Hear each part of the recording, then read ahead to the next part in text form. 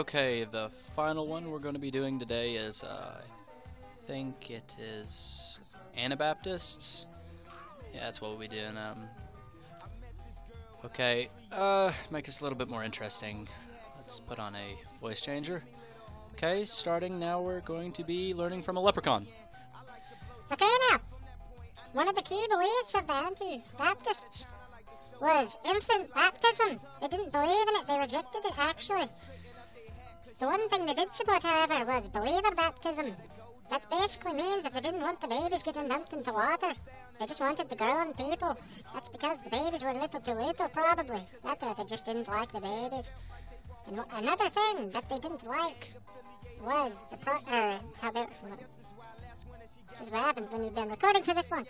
But another thing they didn't like was how they were getting prosecuted. Not by just the Roman Catholics, however.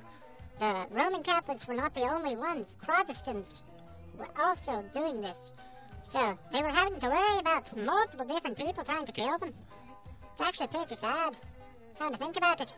Just imagine, you're sitting here, doing nothing. Right there, that's you. And all of a sudden, boom, Roman Catholic comes out of nowhere. And guess what? He's not the only one. The golden Protestant thinks it's all good. He comes up too. And become friends for the one second just to hurt you. It's pretty sad. Imagine being an Anabaptist at the time. You'd get ganged up on. It wouldn't just be two people like that, there'd be more than one. There'd be another man behind you, ready to shank you in the back. You got to watch out for them. Okay, I'm gonna actually switch this song. I didn't like this song. Okay, another leaf. Oh my god. How long have we been going now? Uh, 40 minutes? Okay. I'm gonna do this now because I just realized that this is going to take forever to do. So we're going to end with one more thing. That the Anabaptists, they use the Bible to rule their way of life.